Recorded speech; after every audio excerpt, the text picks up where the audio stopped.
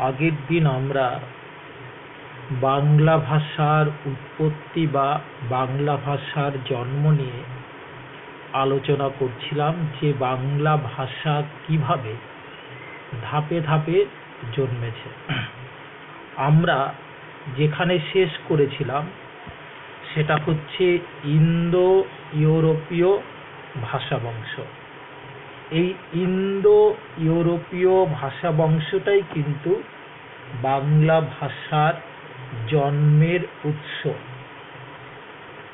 এই ইন্দো ইউরোপীয় আনুমানিক দু হাজার পাঁচশো খ্রিস্টপূর্বাব্দে ইন্দো ইউরোপীয় ভাষাভাষী আর্য জাতির একটি শাখা এসে ভারতবর্ষ, ইরান, পারস্যে প্রবেশ করে। এই ইন্দো ইউরোপীয় ভাষা বংশের দশটি মূল শাখা। একটা হচ্ছে কেল্টিক, একটা হচ্ছে ইতালীয়, একটা হচ্ছে গ্রিক, একটা হচ্ছে জার্মানিক, একটা হিট্রীয় একটা তোখারীয়, একটা বাল্তস্লাভীয় একটা আর্মেনীয়, একটা আলবেনীয়, আর একটা হচ্ছে ইন্দো ইরানীয় তাহলে আমরা কি পেয়েছি? যে ইন্দো ইউরোপীয় ভাষা বংশের দশটি শাখা, এই দশটি শাখার মধ্যে অন্যতম শাখার নাম হচ্ছে ইন্দো ইরানীয় বাকি নয়টি শাখা আমরা বাদ দিয়ে দিচ্ছি। কারণ বাকি নয়টি শাখার সঙ্গে বাংলা ভাষার উৎপত্তি বা জন্মের যোগসূত্র নেই। আমরা নিচ্ছি ইন্দো ইরানীয় তাহলে যদি ছকের সাহায্যে দেখাই, তাহলে কীরকম হচ্ছে? ইন্দো ইউরোপীয় ঠিক তার নিচে হচ্ছে ইন্দো ইরানীয় ইন্দো ইরানীয় বা আর্য শাখা এই শাখাটা দ্বিধা বিভক্ত হয়ে মানে দুই ভাগে ভাগ হয়ে, একটি চলে যায় ইরান বা পারস্যে, আরেকটি চলে আসে ভারতবর্ষে।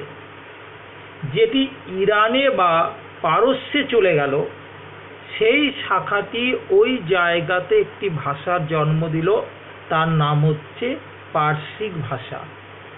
আর যে অংশটি বা যে শাখাটি ভারতবর্ষে চলে এলো, তারা কিন্তু জন্ম দিল একটি ভাষা, তার নাম হচ্ছে ভারতীয় আর্য ভাষা।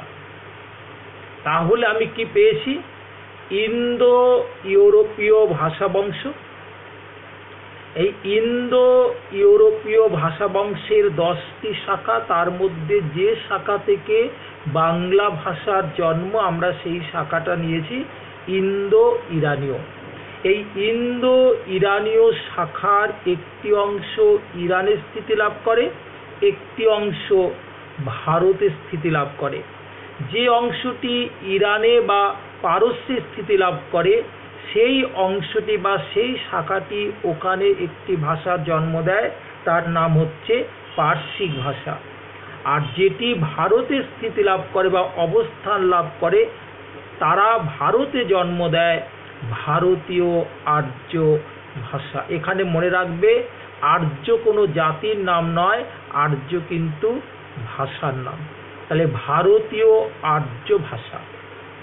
এই ভারতীয় আর্য ভাষার আবার তিনটে স্তর বা তিনটে ধাপ। একটা হচ্ছে প্রাচীন ভারতীয় আর্য ভাষা, একটা হচ্ছে মধ্য ভারতীয় আর্য ভাষা, একটা হচ্ছে নব্য ভারতীয় আর্য ভাষা। তাহলে আমি ধাপগুলো কি পেয়েছি? ছকের সাহায্যে ইন্দো ইউরোপীয় ইন্দো ইউরোপীয় নিচে হচ্ছে ইন্দো ইরানীয় আর ইন্দো ইরানীয়র নিচে পেয়েছি ভারতীয় আর্য ভাষা। আর এই ভারতীয় আর্য ভাষার তিনটে স্তর বা ধাপ বা তিনটে ভাগ। প্রথম ভাগের নাম হচ্ছে প্রাচীন ভারতীয় আর্য ভাষা। আর এই প্রাচীন ভারতীয় আর্য ভাষা বলতে প্রাচীন ভারতীয় আর্য ভাষার সময়সীমাটা কিন্তু গুরুত্বপূর্ণ। সময়সীমাটা হচ্ছে খ্রিস্টপূর্ব এক হাজার পাঁচশো থেকে খ্রিস্টপূর্ব ছয়শো অব্দ পর্যন্ত। অনেকের মধ্যে একটা প্রশ্ন থাকতে পারে যে প্রাচীন ভারতীয় আর্য ভাষা বলে আমরা কোনো ভাষার নাম শুনিনি। আমি বলে দিই, প্রাচীন ভারতীয় আর্য ভাষা বলতে বোঝায় বৈদিক ভাষা এবং সংস্কৃত ভাষা। বৈদিক আর সংস্কৃতের মধ্যে ফারাকটা কি? সংস্কৃত নামটার মধ্যে বলা আছে। বৈদিক ভাষার সংস্কার করা রূপের নাম হচ্ছে সংস্কৃত ভাষা। তাহলে আমরা কি পেয়েছি? প্রাচীন ভারতীয় আর্য ভাষার সময়সীমা হচ্ছে খ্রিস্টপূর্ব এক হাজার পাঁচশো থেকে খ্রিস্টপূর্ব ছয়শো অব্দ পর্যন্ত। এবং প্রাচীন ভারতীয় আর্য ভাষা বলতে বোঝায় বৈদিক ভাষা বা সংস্কৃত ভাষা। এবার হচ্ছে প্রাচীন ভারতীয় আর্য ভাষার পরবর্তী ধাপের নাম হচ্ছে বা পরবর্তী অংশের নাম হচ্ছে মধ্য ভারতীয় আর্য ভাষা এই মধ্য ভারতীয় আর্য ভাষার সময়সীমাটা হচ্ছে খ্রিস্টপূর্ব ছয়শো থেকে নয়শো খ্রিস্টাব্দ পর্যন্ত। খ্রিস্টপূর্ব ছয়শো থেকে নয়শো খ্রিস্টাব্দ পর্যন্ত। পরিষ্কার আর মধ্য ভারতীয় আর্য ভাষা বলতে বোঝায় পালি ভাষা এবং প্রাকৃত ভাষাকে। পালি ভাষা এবং প্রাকৃত ভাষাকে। পালি ভাষাটাকে বাদ দিলাম, প্রাকৃত ভাষাটাকে নিলাম, কারণ ওখান থেকে আমার মাতৃভাষা বাংলাটা জন্মেছে। প্রাকৃত ভাষা এই প্রাকৃত ভাষা কিন্তু ভারতবর্ষের বিভিন্ন প্রান্তে প্রাকৃত ভাষার বিভিন্ন আঞ্চলিক রূপ, আঞ্চলিক রূপটাকে বলা হচ্ছে উপভাষা বা ডায়ালেক্ট ভারতবর্ষের বিভিন্ন অঞ্চলে প্রাকৃত ভাষার বিভিন্ন আঞ্চলিক রূপ দেখা যায়। সেই আঞ্চলিক রূপগুলোর হচ্ছে পৈশাচী মহারাষ্ট্রী সৌরসেনী মাগধী অর্ধ মাগধী অর্থাৎ পৈশাচী এর অপর নাম হচ্ছে উত্তর পশ্চিমা সৌরসেনী দক্ষিণ পশ্চিমা, মহারাষ্ট্রী দক্ষিণ পশ্চিমা মাগধী প্রাচ্যা, অর্ধ মাগধী হচ্ছে তোমার মধ্য প্রাচ্যা। এবার একটা কথা বলে দিই, যে এই প্রাকৃত ভাষার যে আঞ্চলিক রূপগুলো আমরা পেয়েছি, পৈশাচী প্রাকৃত, মহারাষ্ট্রী প্রাকৃত সৌরসেনী প্রাকৃত মাগধী প্রাকৃত এবং অর্ধ মাগধী প্রাকৃত। এর মধ্য থেকে যে প্রাকৃত থেকে আমাদের বাংলা ভাষা এসছে, আমরা সেটাকে আলাদা করে নিচ্ছি। তার নাম হচ্ছে মাগধী প্রাকৃত। মাগধী প্রাকৃত। এই মাগধী প্রাকৃতের বিবর্তিত বা পরিবর্তিত রূপের নাম হচ্ছে মাগধী অপভ্রংশ। মাগধী অপভ্রংশ। আর এই মাগধী অপভ্রংশের পরবর্তী পরিণতি বা পরবর্তী ধাপ হল মাগধী অবহট্ট। অ, ব, হ, ট, হসন্ত, ঠ। এই মাগধী অবহট্টের আবার দুটো রূপ, একটা হচ্ছে পূর্বী, একটা হচ্ছে পশ্চিমা। একটা পূর্বী, একটা হচ্ছে পশ্চিমা। পূর্বী থেকে পূর্বী এবং অপরটির নাম পশ্চিমা। পূর্বী থেকে জন্ম নিয়েছে, পূর্বী থেকে জন্ম সরি পশ্চিমা থেকে জন্ম নিয়েছে তোমার ভোজপুরি ভাষা মৈথিলি ভাষা মগহি ভাষা। আর পূর্বী থেকে জন্ম নিয়েছে বঙ্গ, অসমিয়া এবং ওড়িয়া। এই বঙ্গ, অসমিয়াটা দীর্ঘকাল অভিন্ন ছিল। পরবর্তীকালে বঙ্গ, অসমিয়া দুভাগে ভাগ হয়ে যায়।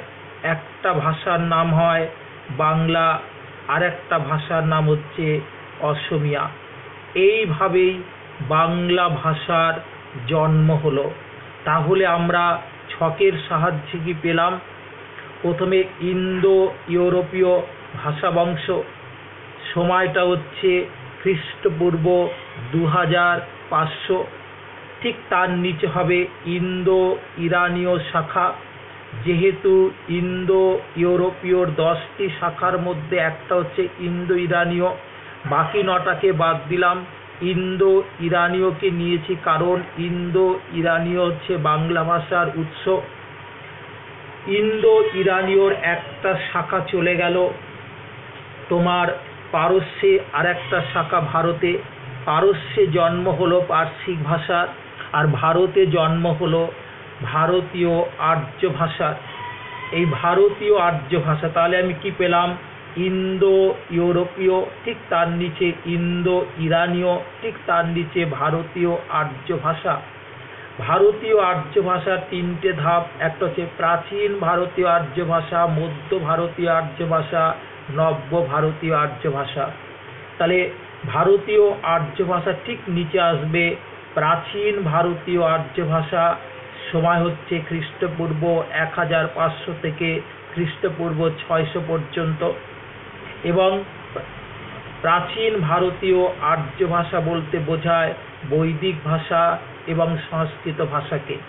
প্রাচীন ভারতীয় আর্য ভাষার নিচে আসবে মধ্য ভারতীয় আর্য ভাষা যার সময়সীমা হচ্ছে খ্রিস্টপূর্ব ছয়শো থেকে নয়শো খ্রিস্টাব্দ পর্যন্ত। এর নাম হচ্ছে, এই ভাষার নাম হচ্ছে পালি এবং প্রাকৃত। পালি আমার দরকার নেই। প্রাকৃতটা দরকার, তাহলে প্রাকৃতটাকে নিয়ে নিলাম।